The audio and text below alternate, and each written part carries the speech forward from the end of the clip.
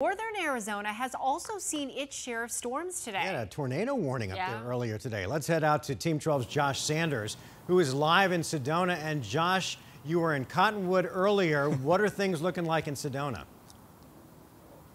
Well, listen, Mark, we have a beautiful backdrop, and it sounds like Michael Dowda and I have switched places when it comes to the rainfall that he's experiencing right now. Yeah, Rich Prang and I, we headed north on the 17 early this morning. We did experience that rain as we headed into Camp Verde. And then for our live hits during the 4 o'clock show, I mean, you guys saw it. Take a look at this video. This is from 4.30 uh, during our live hit, and afterwards, we captured those storm cells rolling through Cottonwood.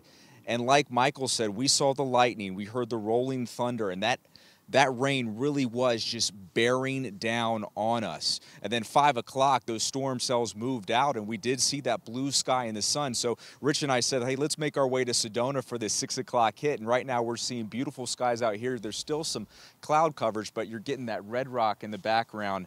Uh, it, it's nice. It's nice here, guys. We're live in Sedona. Josh Sanders, 12 News. Yeah, it is a gorgeous backdrop there. Be safe traveling back here to the valley.